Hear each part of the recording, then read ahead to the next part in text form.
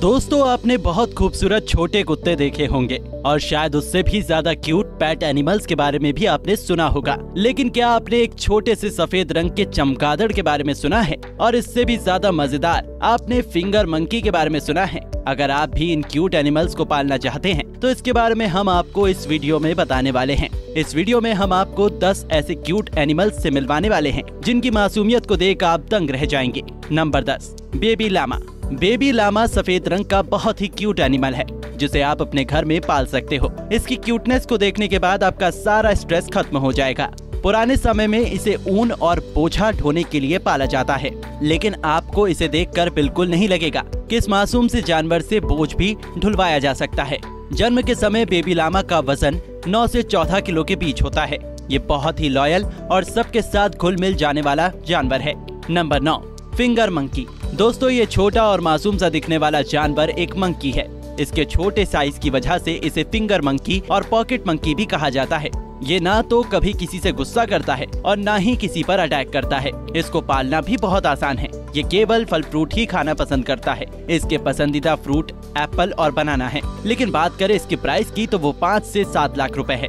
Number आठ baby तमंडुआ सफ़ेद और काले रंग के बहुत क्यूट दिखने वाले जानवर का नाम बेबी तमंडुआ है। सेंट्रल अमेरिका और खासकर खुले मैदानों में पाए जाने वाला ये जानवर देखने में बहुत ही खूबसूरत है। ये खाने में केवल फल और पत्तियाँ ही खाता है। आपको जानकर हैरानी होगी कि इस बेबी तमंडुआ के पास खाने के लिए दांत नहीं होते हैं।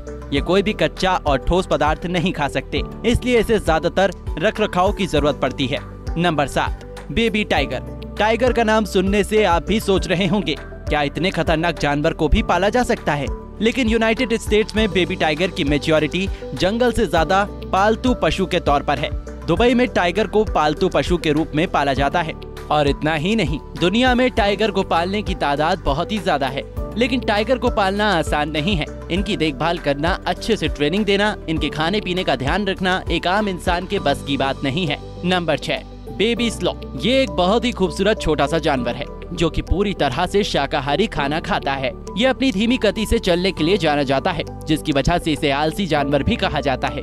बेबी स्लोथ्स को बंद कमरे में रहना मुश्किल है। ये खुले मैदानों और पेड़ पौधों पर रहना पसंद करते हैं। ये इतना प्यारा जानवर है जिसकी वजह से दुनिया के बहुत से लोग इसको पालना चाहते हैं। नंबर पाँच पाइथन पाइथन का नाम पालतू पशुओं में सुनकर आपको हैरानी हुई होगी। लेकिन दुनिया में ऐसे बहुत से लोग हैं जिन्हें सांपों से लगाव होता है। वे पाइथन जैसे खतरनाक जानवर को पालने से भी नहीं हिचकते। पाइथन की कुछ प्रजातियाँ बहुत ही सुंदर और आकर्षित होती हैं, जिनकी वजह से लोग उसे पालतू जानवर बनाते हैं। लेकिन पाइथन का रखरखाव करना इतना भी आसान नहीं है। इसे पालना हर किसी के बस की बात नहीं है।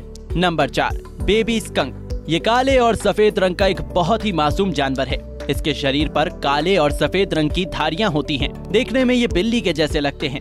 इनकी लंबाई 8 से 19 इंच होती है। इनका वज़न 3 किलो से 17 किलोग्राम तक होता है। इन छोटे जानवरों को ज़्यादातर अमेरिका, कनाडा और मेक्सिको में पाला जाता है। ये बहुत ही प्यारा और ईमानदार जानवर है। इंसानों के प्रति इसका व्यवहार बहुत ही शांत होता है। ये बहुत ही डिसिप्लिन में रहने वाला जानवर है। इसलिए इनको पालना थोड़ा आसान होता है। नंबर तीन बेबी फैनिक फॉक्स। ये फॉक्स सहारा रेगिस्तान और अरेबिक रेगिस्तान में पाई जाती है। फेनिक फॉक्स लोमड़ी की प्रजाति की सबसे छोटी लोमड़ी है, जो बेहद ही सुंदर और मासूम है। ये 14 साल तक जी सकती है।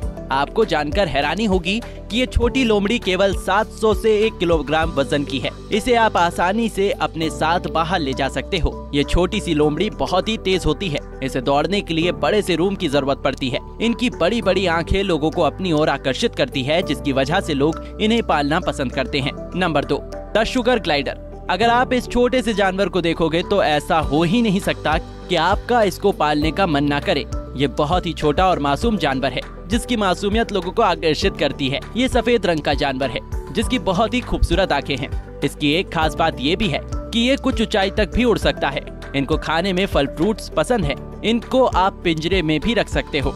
नंबर एक, हॉन्टूरन व्हाइट पैट। आपने चमदागढ़ के बारे में सुना होगा। लेकिन क्या आपको पता है कि इनकी प्रजाति को पालतू जानवर के तौर पर भी पाला जाता है? ये चमदागड़ दुनिया के बाकी चमदागड़ से अलग है।